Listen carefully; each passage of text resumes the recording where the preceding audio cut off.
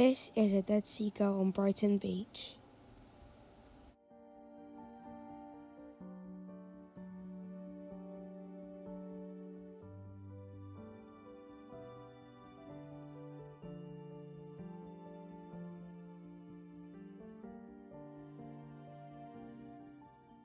It's just bone and feathers.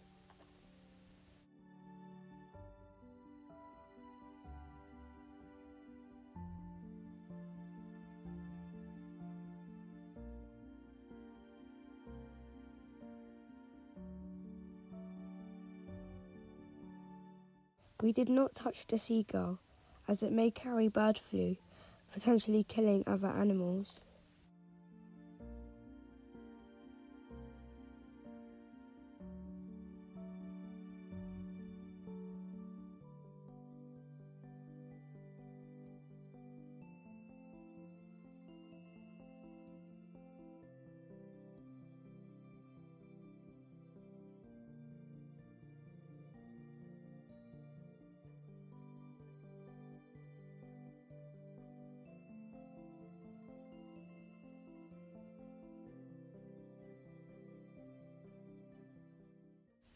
We buried it just in case other people will touch it and carry the bird flu around.